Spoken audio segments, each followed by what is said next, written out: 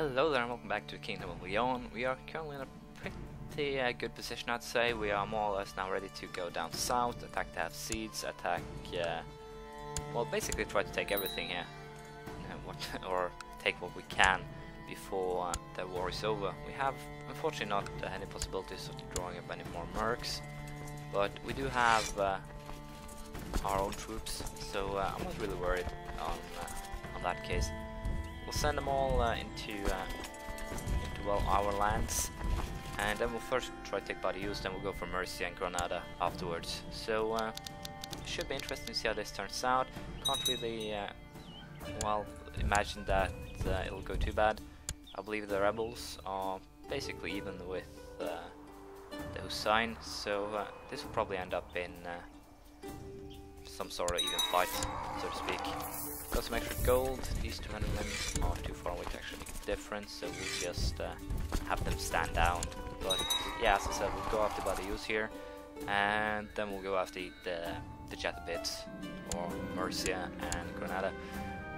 As you know, the reason why I want to uh, want to try and create Hispania first is simply because uh, once I go after West Francia, every I'll have more kingdoms under me that have a Gavelkind.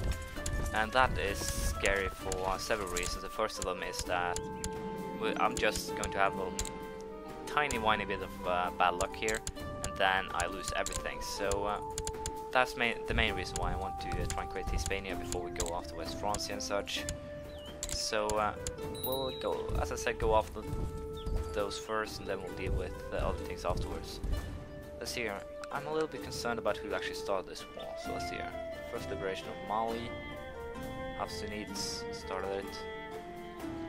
Okay, the Hafsunids, not the Hafsids. So I can simply annex this guy without ending the, the revolt, which is quite good. So, uh, as I said, I'll just go ahead deal with these three uh, wars here, and uh, once I have, I'll uh, I'll get back to you. I don't expect any uh, huge resistance. We have more or less crippled them in Spain at least. So uh, should be interesting to see how this turns uh, turns out in the long run. But as I said, I'm confident that we'll be able to to win this without too much fuss, basically. And hopefully this guy will, will soon inherit because, as you know, I'm old. once you have good hair that you actually want to inherit, uh, they usually tend to turn up dead before before too long. So uh, avoid that this time and take at least Murcia as well here. Uh, you know Musarids, they are currently uh, currently taking over for the Abbasids, so unfortunately we can't, uh, can't take them, to speak. My daughter died, oh that's too bad. Uh, worse my son died, so I'm actually content, I guess I should say, but still. As I said, we'll be sieging this, and once we are done, I'll let you know.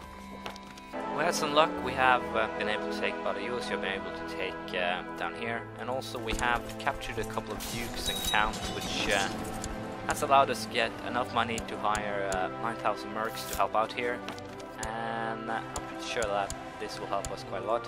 We'll just go ahead and try to take uh, take this. We probably won't go after anything else in this war, but it is tempting if uh, there's still any revolters of this to use uh, the mercs to go after them as well.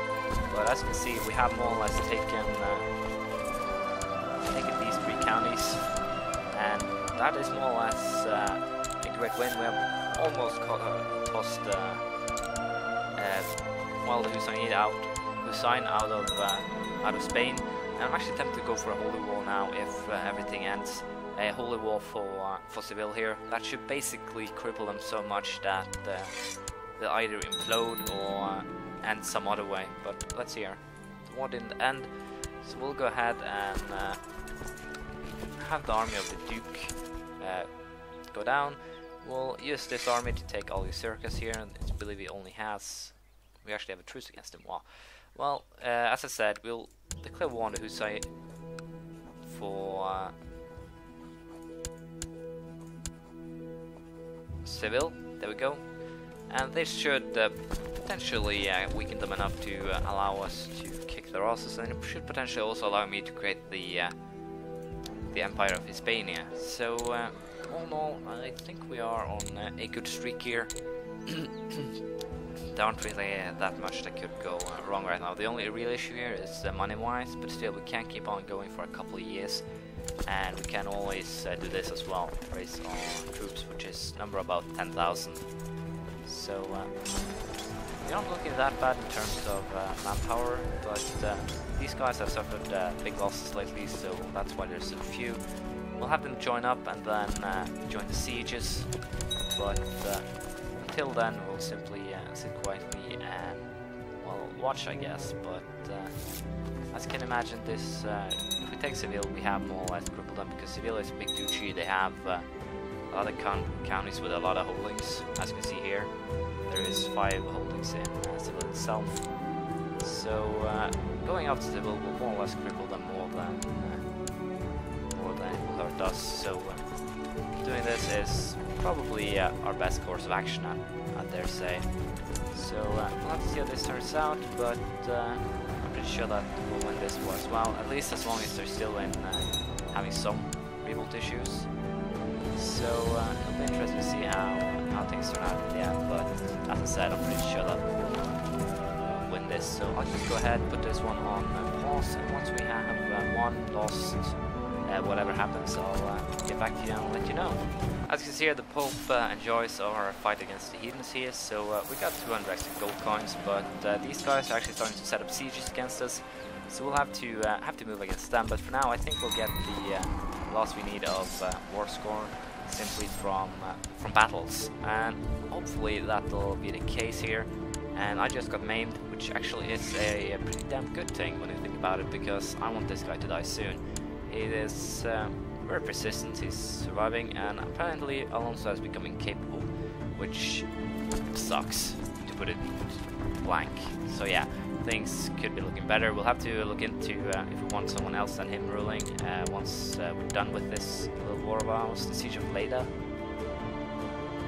Okay, so actually guys up there causing issues as well. So yeah, we'll go ahead, try and siege this, get it all done, wrapped down pretty, uh, pretty damn soon, and hopefully we'll uh, be able to pull that off. But for now, we'll see add to the Byzantine Empire. Did I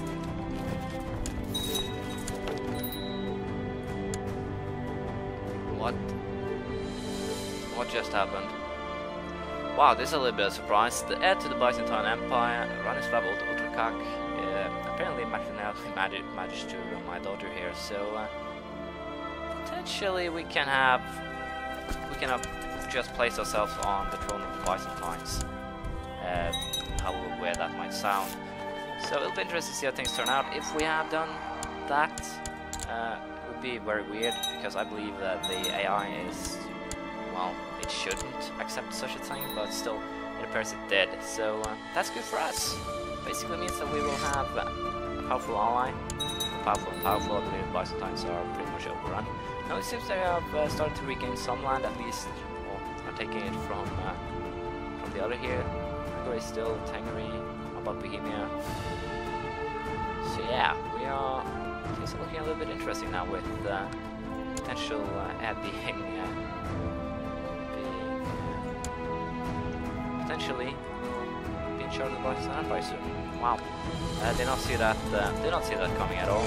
So uh, it's to be interesting, also to deal with uh, the fact that my my son has become incapable. So we'll have to see how we'll deal with that. But for now, I'll just go and find people who can take these new counties and until I found them, I'll, uh, I'll keep you on, uh, here so you don't have to actually see uh, me handing out everything, so uh, see you soon.